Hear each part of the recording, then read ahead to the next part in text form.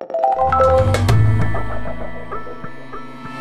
In this week's episode, quolls make a comeback, controversial plans to relocate 18 African elephants, new technology reveals a sanctuary for pregnant sharks in the Bahamas, and is this footage of a blue whale nursing?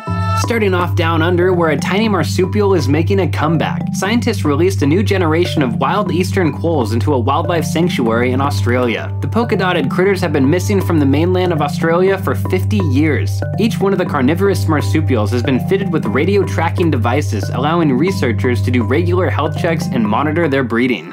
Off to Africa, where an elusive population of western gorillas has finally been captured on camera in Cameroon's Ebo Forest. The primates are thought to be one of the most endangered populations of gorillas in Africa, with less than 25 individuals remaining. It's hoped that the footage might mean better protection for these rare animals.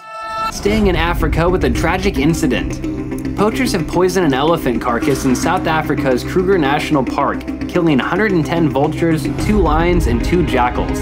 Officials are devastated by the deaths. And 18 elephants due to be culled are now headed to zoos in the US. An intense drought has left a national park in Swaziland without adequate resources for its wildlife. But some conservation groups are crying foul, claiming that the decision is purely a money-making transaction. What are your thoughts on this controversial issue? Let us know in the comments below.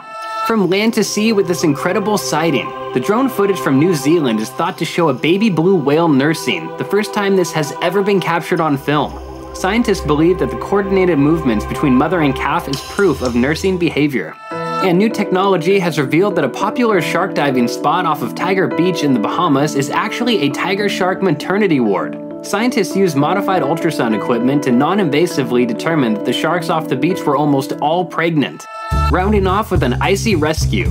A trio of skaters in Sweden came across these four struggling wild boar and decided that best to curl the beast to safety.